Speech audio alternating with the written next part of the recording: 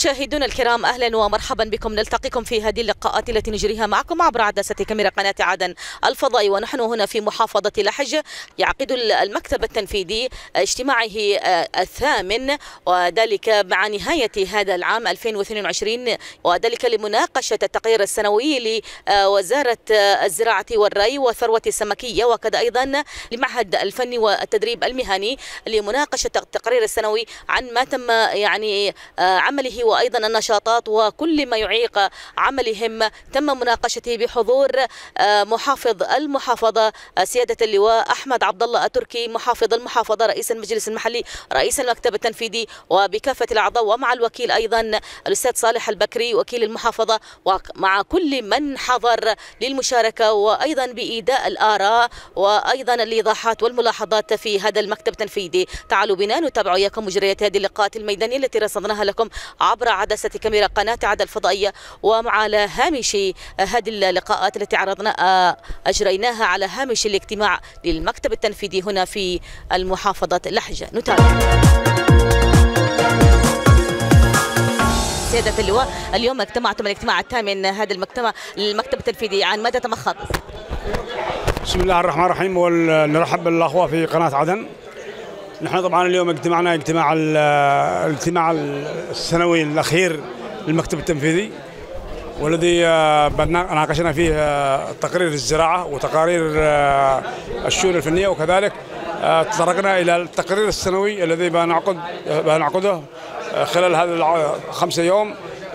لمناقشة التقرير السنوي لكل المكاتب التنفيذية والمكاتب الإرادية لحصيلة الإيرادات وكذلك الأعمال الذي نفذوها مدراء المكاتب التنفيذية والمديريات بشكل عام. وصراحة نحن نعتبر المكتب التنفيذي دائما ينفذ دوراته اعتيادية كل شهر بشهره. وبدون تأخير أو أو اتكال للشهر الآخر كل كل المكاتب التنفيذية أغلب المكاتب التنفيذية قدمت تقاريرها الاعتياديه المطلوبة حسب حسب الخطة الموجودة عندنا في السكرتارية. بالنسبة ل 2022 2023 سيكون إن شاء الله طبعا 2023 إحنا إن شاء الله بتكون في ملاحظات كثيرة وضعناها للسكرتارية سيتم التعامل بها إن شاء الله. أستاذ صالح وأنتم اليوم عقدتم هذا الاجتماع للمكتب التنفيذي الاجتماع الثامن عن ماذا تمخض؟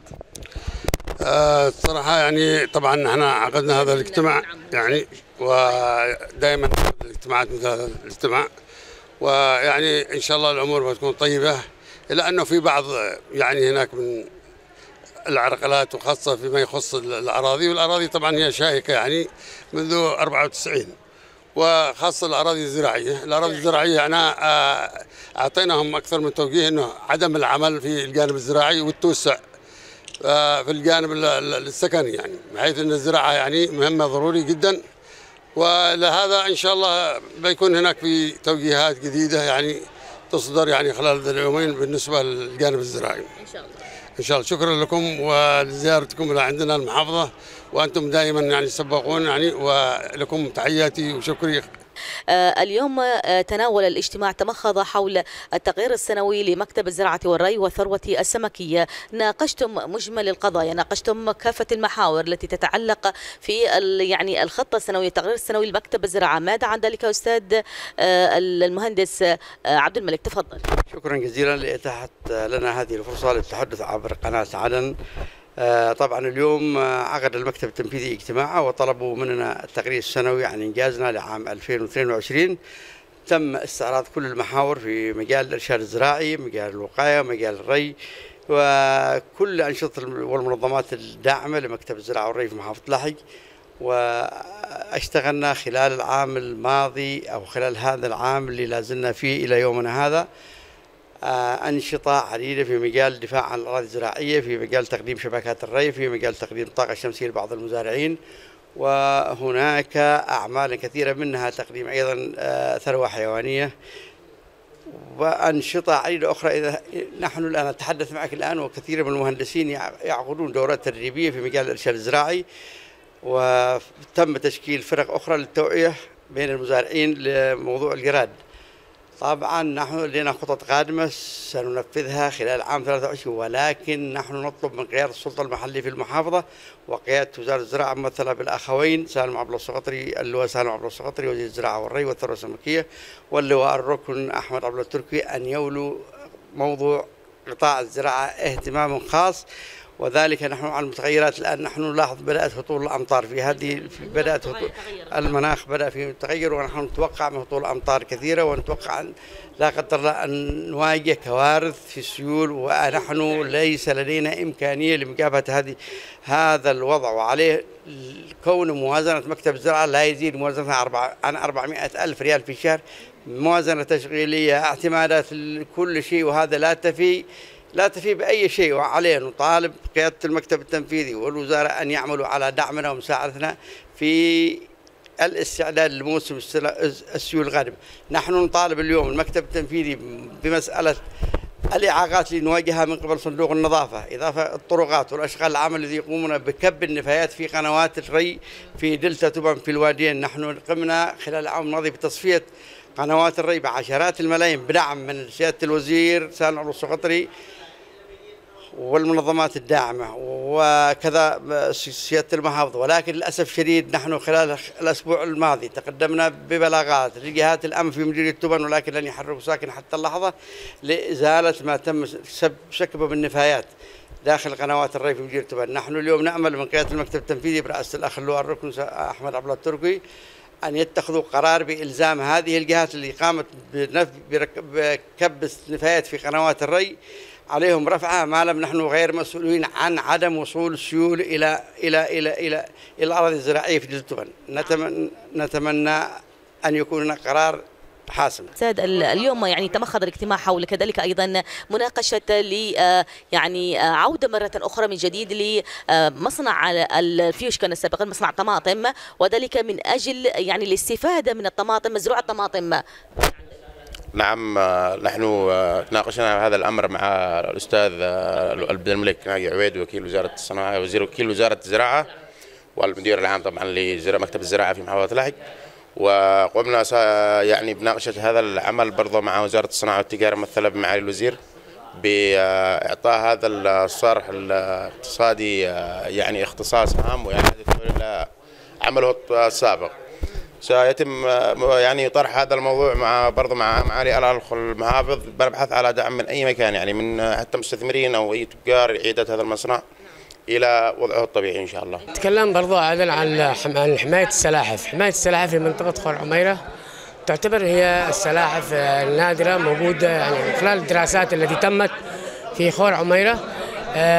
أوضحت إنه هناك في أربع أنواع من السلاحف.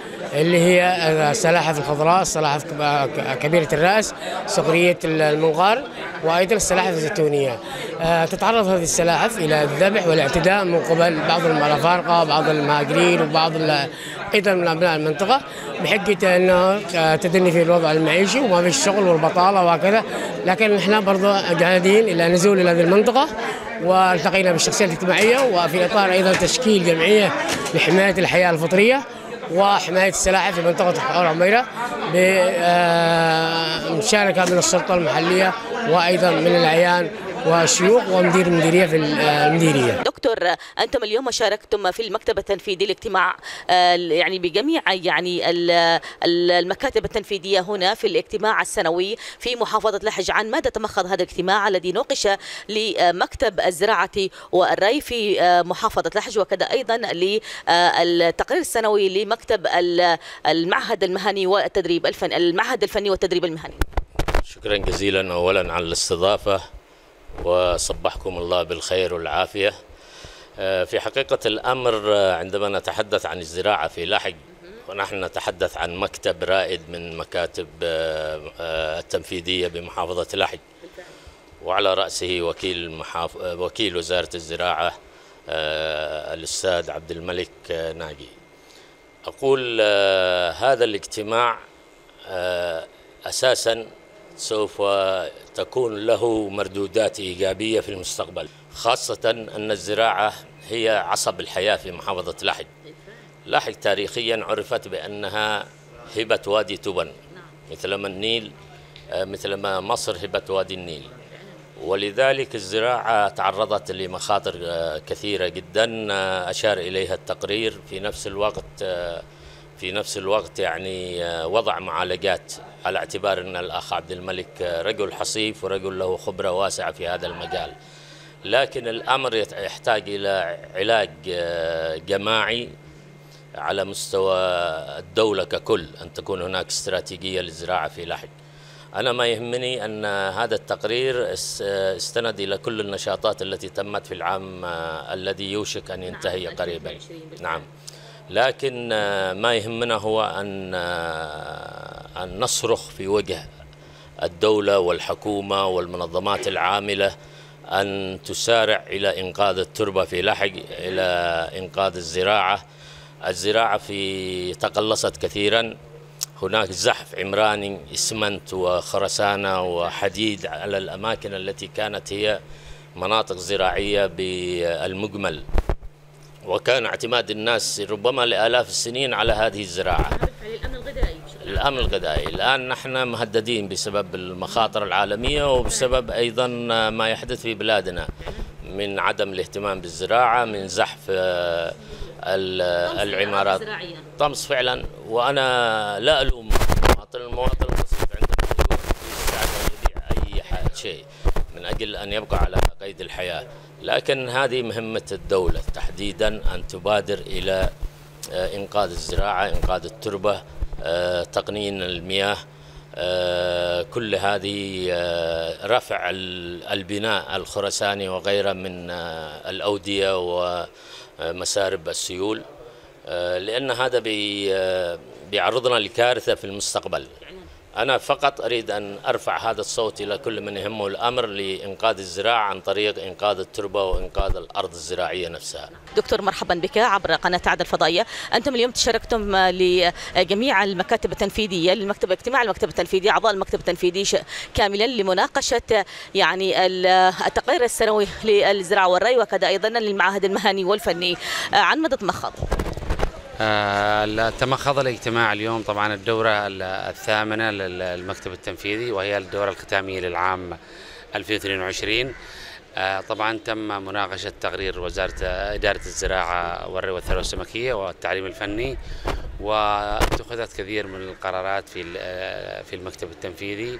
منها يعني آه، أو مناقشة تم آه، ال- ال- ال- المشاريع المتعثرة وكثير من الأمور الخاصة بتدخلات كثير من المنظمات.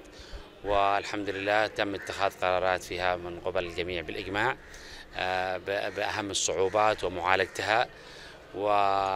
ومتابعة هذه ال- المعالجات إن شاء الله في الدورة القادمة ومدى تنفيذها. آه، الأمور آه، كثيرة طبعا تم مناقشتها. برضو مناقشة الحفر العشوائي للآبار. آه، والحمد لله تم أخذ الاجتماع عن موافقة الجميع باتخاذ باتخاذ القرار المحافظة المحافظ بإجماع. على أساس آه، تنفيذ آه، ومتابعة ومحاسبة كثير المخلين بالبسط العشوائي على الأراضي. و آه، إن شاء الله ستناقش ال- النتائج آه، في الاجتماع القادم. بداية في محافظة لحق بداية مرحبا بك أستاذ أنور وأنتم اليوم تشاركون في انعقاد المكتب التنفيذي للتقرير السنوي آه، الذي سيناقش جملة من القضايا تقرير سنوي لوزارة الزراعة والري وأيضا للمعهد المهني والفني كذلك. ماذا عن الاجتماع يعني الذي سوف يناقش؟ بسم الله الرحمن الرحيم. اولا إن هذه مياه الريف اولا إن هذه الاجتماعات هي اجتماعات دورية تتم في المحافظة وهذه من الأشياء طبعا من الحاجات الأساسية التي يتعامل بها المكتب التنفيذي والسلطة المحلية في المحافظة. هذه الاجتماعات هي تبين مدى الإنجازات والاخفاقات اللي تحدث في بعض ال- المرافق. بالنسبة لنا إحنا كمياه ريف طبعا نحن بال- بالنسبة للتقرير السنوي قد تم ورفع بشكل عام في الجمهورية بشكل عام على مستوى حوالي 12 محافظة بما فيها جزيرة سقطرى والمحافظة مارب والجوف وهذه المناطق. والحمد لله بالنسبة لل- للأنشطة التي آه، حوالي في هذه السنة يعني نفذت في بعض المحافظات بشكل عام في الجمهورية تقريبا حوالي قريب إلى بال 30 مليون دولار تقريبا في المحافظة بشكل عام. طبعا البرنامج الاستثماري هو موقف لكن من خلال المنظمات الدولية والمانحة العمل على على يعني مساعدة وتحسين خدمة المياه في المناطق الريفية خاصة، خاصة ان الريف يشكل تقريبا 70% من سكان الجمهورية. طبعا هناك بعض المعوقات كثيرة للمعوقات لكن من الاهم إن عمل يعني عدم وجود برنامج استثماري للجمهورية، الأمر الذي أدى إلى الاتكال على كل على على عمل المنظمات وال- والمنظمات الدولية والمانحين. هذه أهم الأمور التي يعني هذا وإن شاء الله بالنسبة لمسألة الزراعة طبعا تعرفون إنه هناك في في تناغم بين الزراعة ومياه الشرب. هناك في نوع من ال من ال بعض الأحيان الأراضي الزراعية اللي تتحول إلى إلى إلى إلى يعني استخدامها كسكن أو كعمران. فهذه طبعا تأثر على ال على التوس على ال- الأراضي الزراعية وبالتالي على الأمن الغذائي في الجمهورية. أستاذ جمال وأنتم اليوم تناقشون يعني التقرير السنوي في المكتب التنفيذي في محافظة لحج. ماذا عندك طبعا موضوع اللي سيناقش اليوم في اجتماع المكتب التنفيذي هو حول تقارير عن مكتب الزراعة والري في المحافظة وكذا تقارير المعهد الفني والتدريب المهني. طبعا كلنا يعرف محافظة لحج بأنها منطقة زراعية وذات أهمية كبيرة وقل أبنائها يعتمدون على الزراعة. هذه المحافظة مترامية الأطراف تمثل العمق الاستراتيجي لمحافظة عدن من حيث كانت تمويل محافظة عدن بالفواكه والخضروات خلال الفترة الماضية. ولكن حاليا نرى أن هناك توسع عمراني على حساب الرقعة الزراعية. طبعا وتم تشكيل لجنة من محافظة محافظة مشكورة بعمل حصر المواضع الذي تم بناء العمراني في إطار المناطق الزراعية خاصة في مديرية الحوطة وفي مديرية تبن. نحن أيضا توجد لدينا كلية الزراعة في المحافظة. وهي تمثل أيضا صرح علمي كبير ويجب الاهتمام بهذه الكلية لأجل رفض ال- المحافظة بالكوادر الزراعية والمهندسين وقد تم رفض المحافظة من سابق بعدد من الكوادر الزراعية والذي ساهمت في عملية تحسين الزراعة في المحافظة. هذه المحافظة نرجو أن يتم النظر إليها بعين الاعتبار وتنفيذ مشاريع تخدم الزراعة في هذه المحافظة وأنتم اليوم تشاركون في انعقاد المكتب التنفيذي لأعمال اجتماعه لمناقشة التقرير السنوي الذي سيتم إنجازه واستيضاحه حول ما تم يعني آه، من مشاريع ومن كل أنشطة للتقرير السنوي آه، لوزارة الزراعة والري والثروة السمكية كذا أيضا سيناقش لمكتب ال- المعهد الم- الوزارة ال- يعني مكتب المعاهد المهني والتقني هنا في محافظة الحج ماذا عندك؟ بسم الله الرحمن الرحيم. اليوم سوف يتم مشاركة التقرير السنوي لمكتب الزراعة والري والثروة السمكية. آه، المدير التنفيذي أو الوكيل لوزارة الزراعة اللي هو عبد الملك. آه، اليوم التقرير بيكون له أهمية كبيرة في محافظة لحج وهي عن السدود وعن الزراعات النشاط الذي تقوم فيه المنظمات من دعم للمشاريع الزراعية. كما أنه في مشاريع لابد يتم يعني طرحها في عين الاعتبار وهي مشاريع زراعية مثل الطماطم لأن المحافظة تفتقر من هذه المشاريع التي هي بأمس الحاجة لها في وقتنا الحالي حيث لا يتم دعم المزارعين بالنسبة لهم من أي نشاط زراعي وهو مثل الطماطم. في موسم الطماطم يتم بيع السلة مش حتى ب 3000 ريال.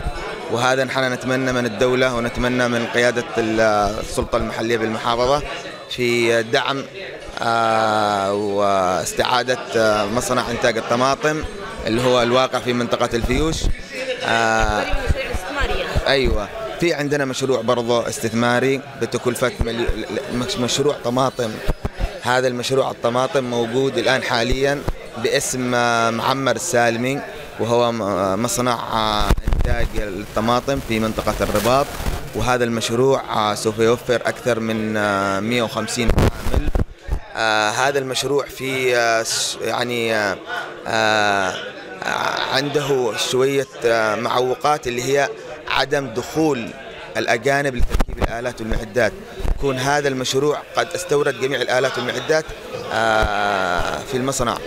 ونتمنى من السلطة والمحلية في تسهيل له بدخول الآلات والمعدات في دخول ال- الأجانب لتركيب الآلات والمعدات. بداية مرحبا بك عبر قناة عدن الفضائية. وأنتم اليوم تشاركون في المكتب التنفيذي آه، بكافة مكاتبه آه، لانعقاد يعني لمناقشة التقرير السنوي آه، لوزارة الزراعة والتجارة آه، وزارة الزراعة وكذا أيضا الثروة السمكية لمناقشة التقرير السنوي وكذا أيضا للمعاهد الفني والمهني. ماذا عن ذلكم؟ بالبداية أشكركم و- وإن شاء الله أرحب بكم في محافظة العق الموضوع اليوم الاجتماع هو على موضوع مناقشة التقرير السنوي لمكتب الزراعة والذي لاحظنا فيه كل شيء جيد وكل شيء ممتاز الذي يخدم الزراعة يخدم الزراعة ويخدم الفلاحين في محافظة العق بداية مرحبا بك عبر قناة عدن الفضائية اليوم أنتم تشاركون لاجتماع المكتب التنفيذي هنا الذي عقد وذلك لمناقشة التقرير السنوي. ماذا عن هذا لكم الاجتماع؟ مناقشة معظم قضايا المكاتب العامة في المحافظة تمام؟ وإيجاد حلول لها ومعالجات لها مع الأخ المحافظ محافظ محافظة لحق. اللواء أحمد عبد الله التركي. و لإنهاء الأمور المش- المشاكل والخلافات اللي موجودة. أستاذ أنيس وأنتم تشاركون اليوم للمكتب التنفيذي بشكل عام بكافة مكاتبه في محافظة لحج عن التقرير السنوي الذي سيعقد سيناقش فيه. ماذا عن ذلك؟ آه، إحنا نناقش اليوم آه، مكتب آه، مكتب الزراعة في محافظة لاحق. وبش مع بالتقرير إن شاء الله بن- بنناقش المواضيع التي مدرجة في جدول الأعمال. وبنشوف أسباب يعني أسباب عديدة من ناحية الزراعة وضعف الزراعة في لاحق وامتيازات الزراعة في لاحق. وحاجات أخرى يعني ممكن نناقشها في الموضوع. بالنسبة للضرائب لي- يعني للمزارع الأسمدة وغيرها. آه، هي بالنسبة للزراعة أغلب أغلب أغلب ال- الأوعية الضريبية في الزراعة هي- معفية معفية. لكن في بالنسبة للتجار التجار المستوردين آه، هذا تتحصل الضريبة من عندهم تتحصل كامل الأوعية الضريبية. مشاهدينا لا هنا نصل وإياكم إلى ختام مجمل اللقاءات الذي يجريناها لكم عبر عدسة كاميرا قناة عدن الفضائية والتي تمحورت حول آه، يعني كافة القضايا والمشاكل التي تعيق مهام يعني عمل آه، وزارة الزراعة والري ومكتب الزراعة هنا في محافظة لحج وكذا أيضا من خلال أيضا الأراضي آه، الزراعية وغيرها من الإشكاليات. ونتمنى حقيقة كل نجاح وتوفيق للجهات المعنية المسؤولة على الزراعة وكذا أيضا للمعاهد المهنية أن تدلل كافة الصعاب التي تعيق مهام عملهم وأن يكون عام 2023 أكثر نشاطا أكثر مشاريع إن شاء الله. آه، تخدم بالنسبة للزراعة للأمن الغذائي والمعاهد بالنسبة لجميع الطلاب آه، وأيضا آه، لمحافظة لحج بقيادة الراعي وبناء المسيرة البناء والتنمية هنا في محافظة لحج آه، سيادة اللواء أحمد عبد الله تركي محافظ المحافظة.